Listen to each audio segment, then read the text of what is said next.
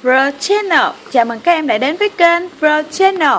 Video ngày hôm nay chị xin mời tất cả các em hãy cùng với chị chúng ta à, cùng nhau vẽ nên một bộ sưu tập áo dài gọi là áo dài Fashion Collection. Và bây giờ let's go! Bắt đầu ha Chúng ta sẽ bắt đầu với một cây bút lông.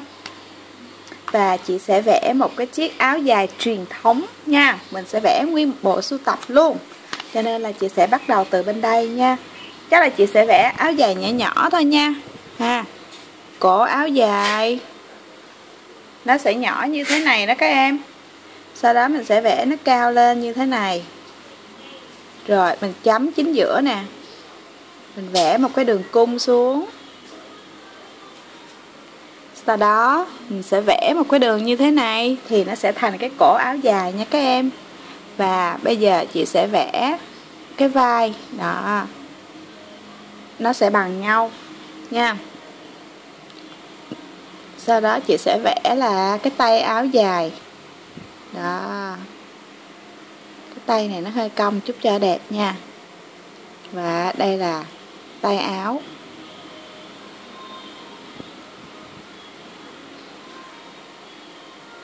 Ha. Áo dài thay vì áo thường thì mình sẽ vẽ cái đường ráp xuống như thế này, đúng không?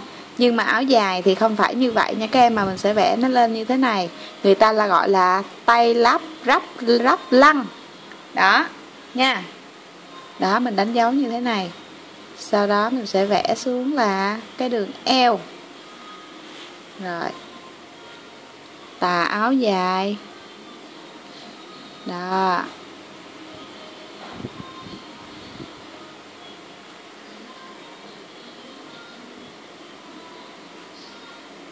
Rồi, cái đó là chị vẽ cái tà nó hơi to, chị vẽ như thế này. Là xem như là cái tà trên ha.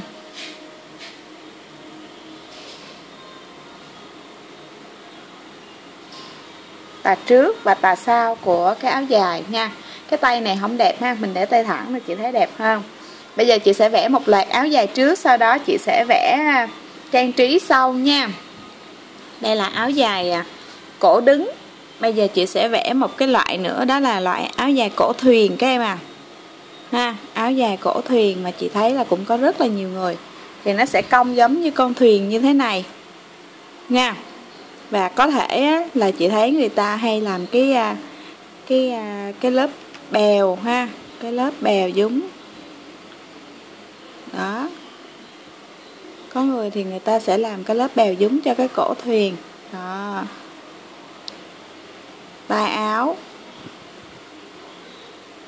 À, tay áo cũng sẽ dài luôn. Tay áo dài luôn nha các em. Nhưng mà đây là bộ sưu tập thời trang cho nên là sẽ khác nhau. Và ở trên có bèo thì ở dưới thì cũng sẽ là có bèo. Ha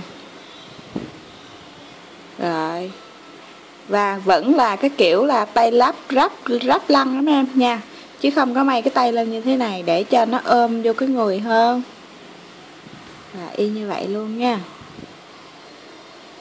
Áo dài thì dĩ nhiên là nó phải dài, đúng không?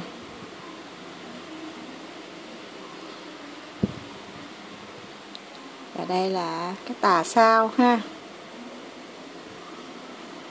Đó.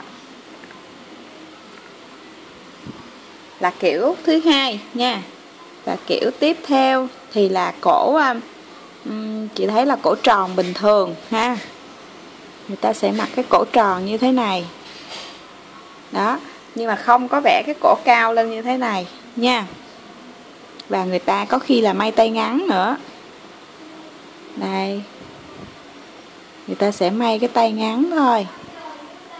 Đó người ta sẽ may một cái tay ngắn. Ha. Người ta sẽ may một cái tay ngắn. Cũng là cổ tay lắp răng ha. Và người ta sẽ có cái viền nữa nha mấy em.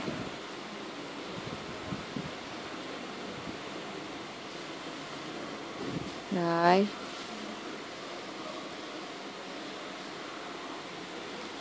Và người ta sẽ viền ở bên hông này luôn. Đó nha, cái áo dài này á, điều đặc biệt là người ta sẽ viền nó luôn. Viền hai bên luôn. Tức là mỗi cái nó sẽ có một cái kiểu dáng khác nhau, đúng không? Và đây là cái tà ha. Đó, là cái tà thì cái tà phía sau cũng được viền như vậy luôn nha các em. Đó, cổ áo luôn ha. Rồi tiếp theo chị còn sẽ vẽ một cái loại áo dài mà người ta hay đi thi hoa hậu rồi đó mấy em. Là một cái áo dài như thế này nha. Nó thường á, thì là phải là cái loại cổ à, bình thường của người Việt Nam mình. Đó là cái loại cổ cao như thế này nha. Đó. Và chị sẽ vẽ là người ta cũng sẽ thường là mặc áo tay dài luôn nha. Người ta cũng sẽ thường là mặc áo tay dài. Đó tay dài.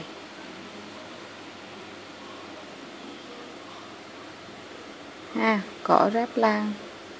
Tay chứ lọng tay ráp lan. Sau đó đó là các em biết như thế nào không? Cái phần eo này thì nó cũng xuống bình thường như thế này ha. Đó. Tuy nhiên mà chị thấy người ta đã sẽ làm như thế này. Cái tà trước thì nó bình thường thôi. Đó, là nó sẽ dài như thế này. Nhưng cái tà đằng sau á là chị thấy người ta sẽ dúng. Nó người ta sẽ dúng. Rất là to. Ừ, người ta sẽ dúng. Như là một cái cái đuôi cong ở phía sau vậy đó mấy em. Đó nha. Là rất là lộng lẫy luôn. Đó là cái kiểu này là cái ở phía sau nè. Đó cái tà của nó rất là là là tha thước, ha. Còn cái tà trước thì người ta chỉ điểm xuyến hoa văn thôi, nha. Và tiếp theo thì sẽ là một cái kiểu áo dài cũng được nhiều người yêu thích, đó là cổ tim mấy em, nha, cổ tim, đó. Cổ tim thì nó sẽ là như thế này, ha. Đó cái này chị vẽ cái cổ tim nó hơi sâu rồi nha. Thôi chị sẽ vẽ nó qua bên đây đi. Tại vì nó nó không phải sâu mà nó to quá. Đó, ha. Sẽ vẽ một cái áo dài cổ tim. Thì cái cổ tim nó cũng sẽ như thế này, ha. Và chị sẽ vẽ thêm một cái kiểu, một cái kiểu tay áo mà cũng có rất là nhiều người thích. Đó là tay ống le nha mấy em. Đó, áo dài nhưng mà là tay ống loe biết là có bạn nào thấy à, thấy người ta mặc áo dài mà mà tay à, ống loe ra chưa?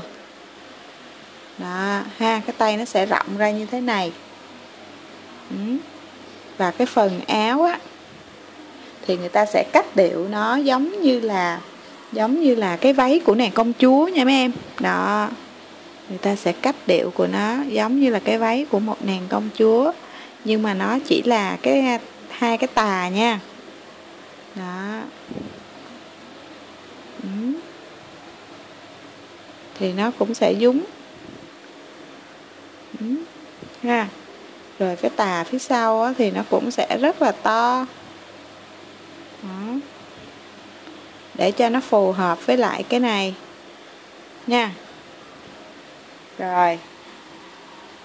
Và còn một cái kiểu áo dài hiện nay đang à, à rất là được mọi người yêu thích làm cái loại áo dài cổ thường. Áo dài cách tân đó mấy em. Áo dài cách tân á, thì à, cái tay áo nó sẽ lửng thôi nha không dài mà cũng không ngắn. À chị quên vẽ cái à, cái tay lắp răng lên lên đây. Đó. Nó không dài mà cũng không ngắn cũng có phần ráp lăng như vậy. Áo dài nó hơi suông ha, bình thường nó chít eo vô sau. Nhưng cái này thì nó hơi suông một xíu và nó chỉ ngắn tới đây thôi. Đó. Đó mấy em. Ha, cái áo dài này thì nó nó chỉ ngắn như vậy thôi. Và thường thì người ta sẽ mặc với lại một cái quần ống đứng. Ha. Đó. Cái này thì là áo dài cách tân đó mấy em nha. Và bây giờ chúng ta sẽ bắt đầu trang trí những cái áo dài này nha. Và đầu tiên chị sẽ trang trí cái áo này với à, cái hình là hình trái tim nha mấy em. Ha đây, chị sẽ vẽ cái trái tim. Đó. Trái tim và cái gì nữa ta? Một trái tim to ở trên đây, sau đó chị sẽ vẽ cho là nhiều trái tim nhỏ ở dưới nha. Đó. Chúng ta à, đây là kênh Red Channel dành cho trẻ em cho nên là chị sẽ dùng những cái họa tiết mà các em yêu thích được không? Còn không dùng họa thích người lớn đâu nha. Đa dùng à, họa hoa tiết. Ê hoa văn của người lớn thì nó đã quá thường rồi đúng không? Rồi bây giờ mình sẽ trang trí thêm là là những trái tim nó dọc lên trên đây nữa ha.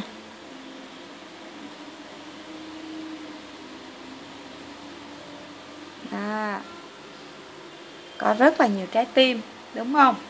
Rồi bây giờ áo này thì nó có nhiều ren như vậy thì chị sẽ à, trang trí là hoa đi nha. Rồi chị sẽ vẽ những cái cây hoa. Đó. Rồi chị sẽ vẽ những cái bông hoa tulip. Đó. Chị sẽ vẽ cho cái áo dài này là là một cái bụi hoa tulip ha.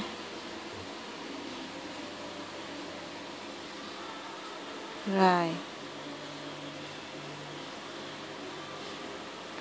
Đó. Do cái hình nhỏ cho nên chị chỉ vẽ những cái à, cái à, cái lá nè ha. Đó, cái lá nữa rồi, ở trên đây thì chị sẽ vẽ là một bông hoa nữa. Bông hoa xéo xéo nha. Đó. Nó sẽ có một cái lá nhỏ. Rồi, tiếp đến thì đây là chị trang trí cái gì đấy ta? À chị sẽ trang trí một cái mặt cười. Đó. Nha. Một cái mặt cười. Thì nó sẽ cười như thế này. Lần đầu tiên là thấy một cái à, áo dài có mặt cười. Và chắc là chị sẽ chị sẽ vẽ là slam cười đi. Slam bông hoa cười ấy mấy em. Đó chị sẽ trang trí lên trên cái áo. Rất là ngộ nghĩnh đúng không? Rồi và cái áo này á, thì chị sẽ làm cho nó là những cái mảng màu ha ở dưới cái tà khác nhau. Đó. Ở đây thì cũng có thể là có một cái mặt cười nữa nhưng mà chị sẽ vẽ nửa cái mặt cười thôi. Đó.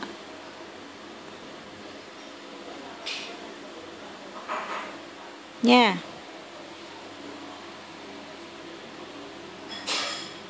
Không biết là các em sẽ thích cái mẫu đồ nào của chị nữa chứ. Trên đây thì chị sẽ cho một cái cây ha. Một cái cây cỏ. Đó đang mọc lên. À, có một bông hoa. Mai mốt lớn lên thì nó sẽ thành hoa mặt cười đó. Nha. Rồi tiếp đến thì mình sẽ trang trí cái gì cho cái bộ đồ này đây ta? Và bộ đồ này á thì à, hay là chị sẽ vẽ một à, búp bê đi nha ok, chị sẽ vẽ là một bạn à, búp bê đang đi chơi. Đó. Đây là một bạn búp bê. Đó, búp bê này à, tóc ngang đi nha, cho nó dễ, tại vì nó nhỏ quá. Đó, búp bê cũng cười. Ha, và búp bê mặc một cái à, cái váy nha. Đó búp bê mặc một cái váy có cổ như thế này xè ra. Đó.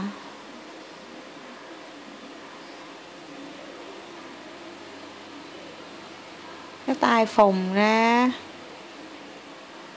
Trời ơi xấu quá thôi kệ đi nha, vì đây là mình trang trí trên áo thôi mà. Đó à. búp bê đang chống nặng và búp bê sẽ đứng cùng với lại cô giáo của mình. Thực ra đó là một em bé đó mấy em. Đó. Nha, tóc của cô giáo đây.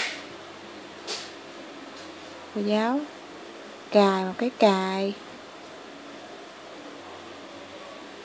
Đó. Và cô giáo đang mặc áo dài luôn nha, cô giáo đang muốn nắm tay của em bé.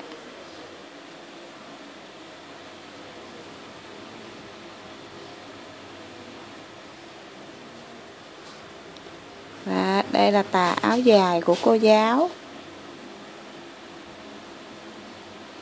Đó cô giáo đang mặc một cái quần áo dài như thế này. Nha. Và đây là cái tay của cô giáo nữa, ha. Cô giáo đang muốn bắt tay với lại em bé. Và đây là cặp mắt. Đó, các em nhìn thấy không? Nhìn thấy hình của cô giáo không? Đây là cái tà áo dài thứ nhất này nha. Đó, chị đang ờ, trang trí ở trên đây. Đó, đây là cô giáo nè, và là em bé, ha ở trên đây thì sẽ có những cái đám mây nha mấy em. Đó, chị sẽ trang trí bằng những cái đám mây bầu trời trong xanh, ha. Rồi cái áo dài của chị trang trí ghê thiệt. Ông mặt trời.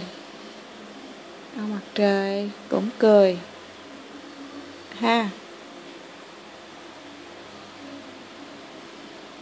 Đó, và đó là bộ áo dài của chị sau đó thì à, tiếp đến là bộ dài này. Bộ áo dài này á, thì chị sẽ cho gắn hai cái nơ. Đó chị sẽ cho gắn hai cái nơ. Đó hai cái nơ ở hai bên. Như thế này. Rất là ngộ ha. Vì đây là áo dài của chị mà. Chị thiết kế cho nên là chị muốn vẽ gì thì chị vẽ. Và chị sẽ cho à, một cái đai nha trang trí những cái đai giống như là sen vậy đó. Đó. Áo dài này dùng để đi múa ha cũng sẽ rất là đẹp nha. Đây thì cũng sẽ có những cái lớp lớp ren như vậy luôn. Đó nơ và cây cỏ ha. Ở dưới tà này mình trang trí cái gì ta? Đã là nơ rồi thì thôi chị sẽ vẽ luôn một cái nơ đi ha. Chị sẽ vẽ một cái nơ xéo đó, chị sẽ vẽ một cái nơ xéo để trang trí cho cái tà áo dài này luôn. Gọi là áo dài nơ. Đó, cũng khá là lạ. Ít ai mà mặc cái áo dài nơ lắm á. Đó, một cái nơ thật là to. Và bộ áo dài này chúng ta trang trí gì ta? Nãy giờ mấy cái này mình trang trí tà áo dài, bây giờ cái này á, chị sẽ trang trí cái quần và cái ống à, hai cái tay đi. Chị sẽ vẽ những ngôi sao. Đó, ha. Mình sẽ vẽ những cái ngôi sao để trang trí cho cái tà áo dài. Cái cái áo dài chứ lộn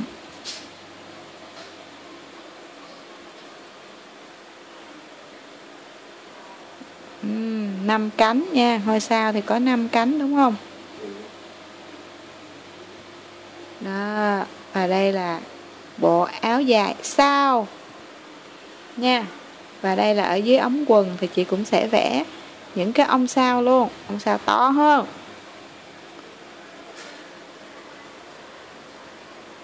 Đó ong sao sẽ to hơn.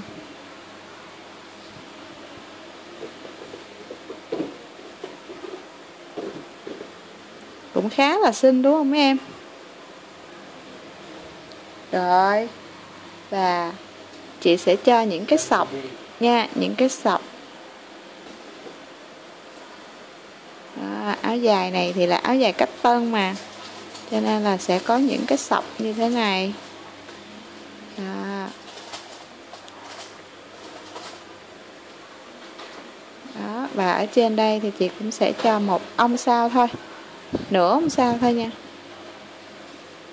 Đó, nửa không sao.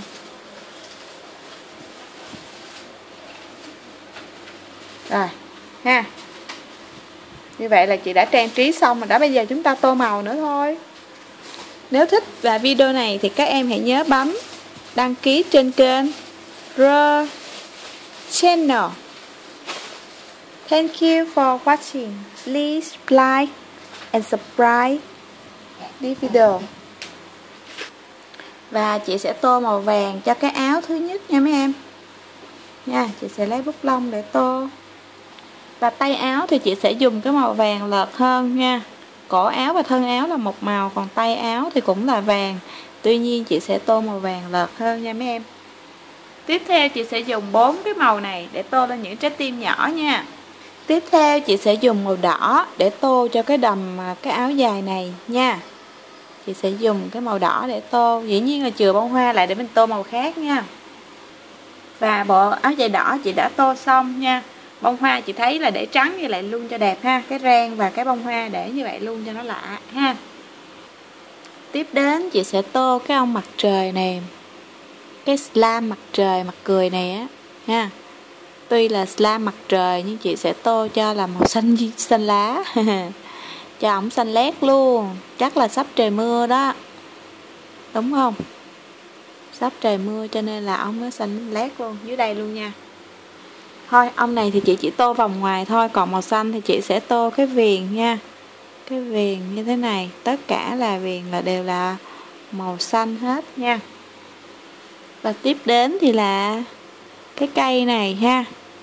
Cũng có màu xanh dương luôn. Ê, xanh lá luôn và cái bông hoa này nè. Một cánh thôi màu xanh lá. Và chị sẽ tô màu cam vào cái ô này nha. Và một cánh hoa màu cam. Tiếp đến chị sẽ tô màu đen cho cái ô này nha. Và một cánh hoa màu đen. Tiếp đến thì chị sẽ tô màu đỏ ở đây và dĩ nhiên là một cánh hoa màu đỏ. Tiếp đến, chị sẽ dùng màu tím nha, Màu tím đậm. Để tô ở đây. Và cuối cùng thì chị sẽ tô màu vàng Ở đây. Và sẽ tô luôn ở trên hai cái tay nha. Sẽ tô luôn hai cái cánh tay màu vàng luôn và cả màu vàng cho một cái ít à, cái góc của cái tà phía sau nha. Đó chứ để cái tà phía sau nó không có màu gì hết. Rồi như vậy là đã xong. À quên và dĩ nhiên là một màu vàng cho một cái cánh ha còn màu trắng làm cái nhị. Và bộ áo dài này thì chị sẽ vẽ màu xanh da trời nha. Màu xanh da trời để tô cái nền của cái cái à, cái cái bộ áo dài này ha vì nó có mây nè có trời. Thì chị sẽ tô màu xanh da trời nha. Tiếp theo, chị sẽ tô cho em bé là một cái váy màu hồng. Nha. Em bé sẽ có mái tóc màu vàng. Nha. Và em bé mặc một cái áo rất là nổi.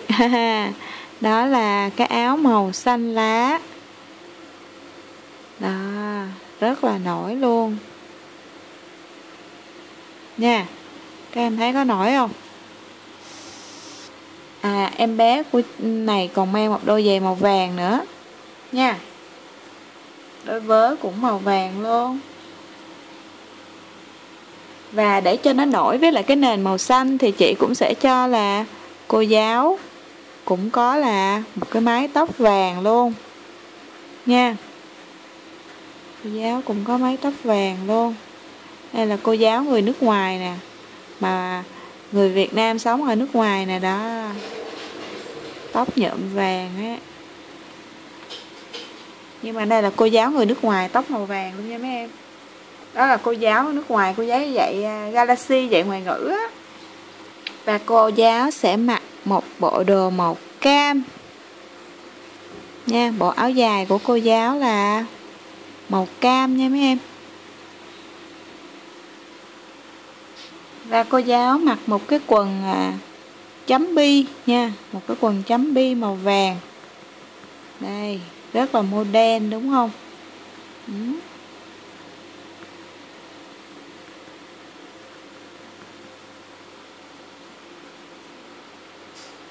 chấm bi vàng và cộng thêm là chấm bi nâu nha. Hiện nay là người ta đang có cái model đó là mặc quần hoa đó mấy em đó và cũng có thể chị sẽ vẽ là cái bông hoa trên cái quần của cô. Nha, người ta có, đang có cái mốt là mặc áo thì màu này, nhưng mà quần thì sẽ là quần hoa.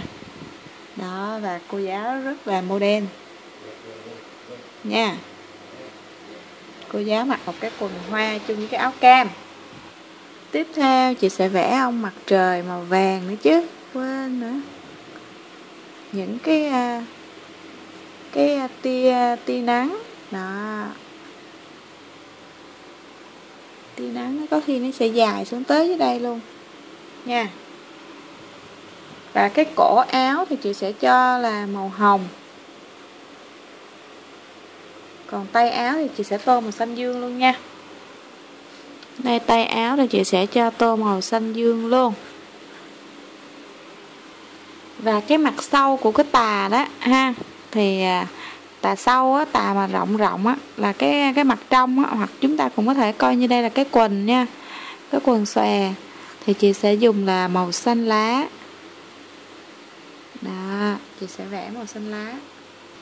Như vậy là chị đã tô xong, tuy nhiên chị sẽ vẽ thêm cho búp bê và cô giáo mấy cọng tóc nữa nha.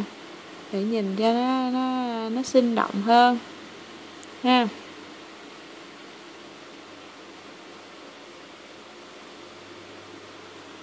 Rồi. Như vậy là chị vừa tô xong được bốn cái mẫu ha. Cái mẫu này là đơn giản nhất. Chị tạm gọi đây là số 1 số 2 số 3 số 4 à trong bốn mẫu này thì các em sẽ thích mẫu nào nhất thì nhớ bình luận cho chị nhé. Mẫu trái tim nè, mẫu hoa tulip màu đỏ nè, hoặc mẫu slime mặt trời nè, mẫu cô giáo và bé nè. Và bây giờ chúng ta sẽ tô mẫu nơ và mẫu sao nữa nha. Chị sẽ tô màu tím cho phần áo ở trên nha. Sau đó thì chị sẽ cho tô cái nơ này màu tím luôn. Nha và phần xòe, phần tay xòe và phần tả dưới thì chị sẽ tô màu màu hồng. Nha. Và chị đã tô xong cái này nha. Và bây giờ chị sẽ tô cái màu vàng lên những cái chỗ mà nó nó hơi trắng trắng á, thì chị sẽ tô vàng lên ha. Và đây sẽ là mẫu số 5 nha, của kênh Pro Channel. Hy vọng rằng các em sẽ thích nếu thích các em hãy nhớ bấm like, chia sẻ video cho các bạn cùng xem và đừng quên đăng ký thành viên trên kênh Pro Channel nha. Và bây giờ chúng ta sẽ tiến tới tô cái màu à, cái mẫu số à, 1 2 3 4 5 6 ha à, tiến đến tô cái mẫu số 6 nữa là đã hoàn thành. Chị sẽ tô màu cam nha mấy em. Tô màu cam cho cái thân áo và chị cũng sẽ tô những cái ngôi sao này màu cam luôn ha. Tất cả các ngôi sao trường ngôi sao này lại.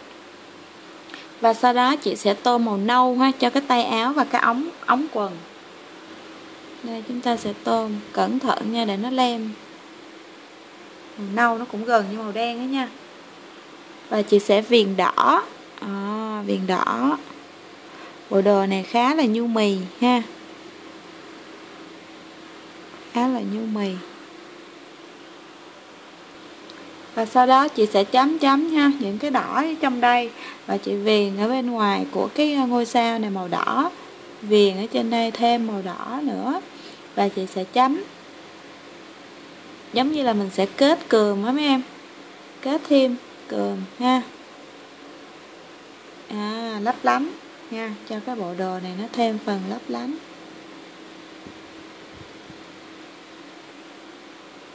đó. Như vậy là chị đã hoàn thành xong bài vẽ số 6 trang trí áo dài. Như vậy là chị vừa hoàn thành ha. Bây giờ chúng ta sẽ cùng xem lại là các cái mẫu mà chị vừa vẽ. Mẫu này là mẫu áo dài cách tân à, Với cái màu sắc là giống như là của người nông dân. À, Hay là không phải là nông dân nữa mà là cổ điển nha. Nói nông dân thì không phải nông dân không có ai mặc như vậy hết. À, Mà là nó mang hơi hướng cổ điển của những cái chiếc áo dài ngày xưa với màu nâu à, đơn giản nha. Còn bộ đồ này nè với cái kiểu dáng là nó cách điệu phần tay xòe và như thế này. Đó màu sắc thì á, tuy là đơn giản tím tím và hồng nhưng mà nó lại có những cái đường nè màu vàng và à, những cái hình như thế này nó táo bạo. Thì thường đó là trong cái trang phục mà đi múa đó các em những cái chiếc áo dài múa đó là chị thấy người ta hay mặc như thế này thì mình gọi đây là những chiếc áo dài múa nha đây này là chiếc áo dài cách tân nó có thể mặc ra đường phố bình thường thôi, tại vì nó rất là, nhìn nó đơn giản và gần gũi, đúng không? Thì nó là áo dài cách tân để mặc đi dạo phố. Đây thì áo dài này thường người ta sẽ mặc đi lễ hội và đi múa đó mấy em. Đó, còn chiếc áo dài này thì à, là một chiếc áo dài hết sức là đẹp, mà chị mô tả theo những chiếc áo dài mà người ta À, đi à, thi hoa hậu nè hay là thi à, sắc đẹp những cuộc thi về nhan sắc đó mấy em. Thì người ta sẽ mặc những chiếc áo dài như thế này với cái phần đuôi hay là cái phần ống quần nó thật là xòe rộng như thế này. À, để cho cái bộ áo dài nó thêm phần lộng lẫy ha. Về phần trang trí áo cũng vậy người ta sẽ vẽ rồng vẽ phụng hay là thêu rất là đặc sắc lên. Còn vì đây là thiết kế cho các em cho nên là chị vẽ những cái hình ảnh nó gần gũi với các em hơn như là à, cô giáo và bạn học sinh à, mây bay trên trời. Đó. Còn đây yeah là một cái mẫu cũng hết sức là gần gũi với các em đúng không nào? Đây là mẫu thời trang chị dành cho các bạn mà. Cho nên là à, chị đã vẽ mẫu này cho các em. À, chúng ta có thể là đi chơi đi sinh nhật đi đám cưới vân vân à, trong cái bộ áo dài này. Đó là bộ áo dài slam mặt trời à, mà trên kênh chi có bán lam mặt trời này là 5 ngàn một hũ đó mấy em. Và bông hoa sắc màu nữa nè. Và những cái màu này nó rất là tươi tắn trên cái nền áo dài trắng. À, tay thì ngắn nữa rất là tiện dụng để cho chúng ta à, cái bộ này nè theo chị đánh giá là mình có thể đi được nhiều nơi đám cưới đi chơi rồi đi tiệc tùng dạ hội vẫn phù hợp luôn. Và nếu như mà là ca sĩ nữa ca sĩ cũng có thể mặc bộ này luôn rồi đây là một bộ đồ là dành cho những ờ, bạn nào những ờ, cô giáo ờ, có hai bộ này nè ha. Là có cái cá tính là hiền diệu đó hai bộ này cá tính hiền diệu giống như những cái bông hoa này nè. Đó và bông hoa này thì chị không có tôn màu. Đó à, lâu lâu thì cho nó đơn giản ha. Bộ này đơn giản chỉ có sắc đỏ và những cái hình thôi. Thì những cái này nó đã nhiều màu rồi đúng không? Cái này cái nào cũng có màu hết thì chị muốn. Thật ra chị có thể tô màu nhưng mà là chị muốn có một bộ nó đơn giản như thế này để cho các em có một cái cách nhìn nó mới hơn nha cách nhìn mới hơn về cái việc trang trí. À, không nhất thiết lúc nào chúng ta cũng phải thật là nhiều màu nhưng nó chỉ có thể đơn giản như thế này thì cũng được. Và bộ này cũng khá là đơn giản với những cái hình à, à, trái tim thôi. À, tuy nhiên cũng khá là sắc màu và nổi bật giữa đám đông nha vì cái họa tiết nó tuy là đơn giản nhưng mà nó ờ, rất là đặc à, nói chung là cá tính á. Hơi cá tính một